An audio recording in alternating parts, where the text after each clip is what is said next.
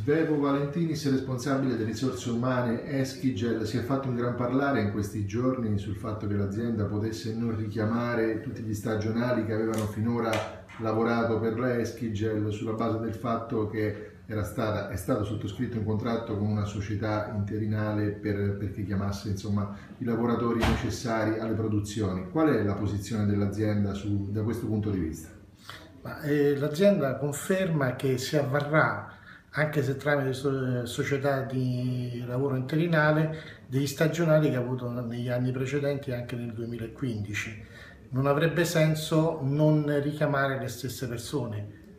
Quindi voi tendenzialmente richiamerete tutti quelli che hanno sin qui lavorato per l'azienda in passato?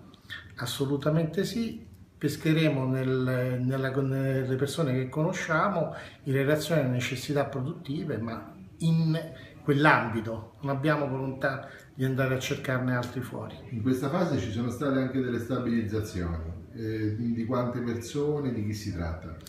Abbiamo eh, fatto un accordo con la società di interinale per cui la società ha stabilizzato, questa è sempre la società interinale, ha stabilizzato 50 persone che sono di eh, ottima e elevata professionalità che lavoreranno part time 10 mesi da gennaio a ottobre ma soprattutto hanno un contratto a tempo indeterminato fatto con la società interinale